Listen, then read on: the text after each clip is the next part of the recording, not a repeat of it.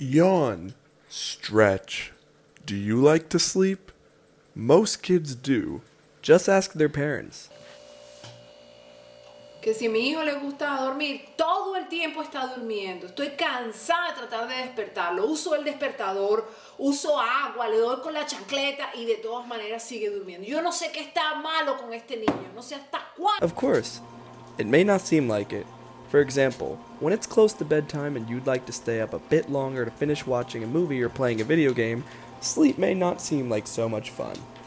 But just fast forward to that next morning.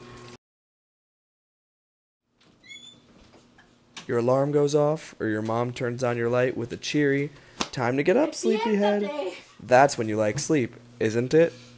When the new day beckons, it seems like we all just want a little more sleep. But what if you couldn't lie down, close your eyes, and snuggle into your warm, comfy bed? Would you still want to spend your time sleeping? Would you even be able to sleep? These are the questions we thought about when we woke up and fed our pet goldfish. Do fish sleep? And assuming they do, what do they do constantly swimming around? It can seem like they never stop. Surely they need some rest from time to time, don't they? As a matter of fact, they do. If you watch fish long enough, you'll notice that they do take breaks. There are definite periods of time when they seem to hover in place, almost like they're in a trance, but their eyes are open. Are they sleeping?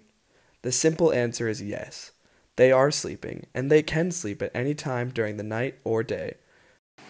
So here's another tank of sleeping fish that I've just woken up. This pair of parrots that never leave each other's side. Quite um, usual to see them sleeping together. Here's a um, compressiceps that's always on the top of the tank. Got a moorii, the yellows. So you see that they're all sort of huddling towards the bottom where they feel a little bit safer. The archer's still on the top an African mono.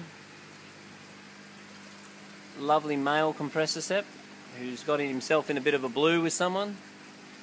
Maybe this Texas here.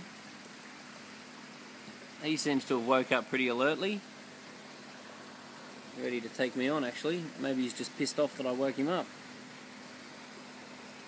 Fish do sleep with their eyes open because they don't have eyelids, except for some sharks.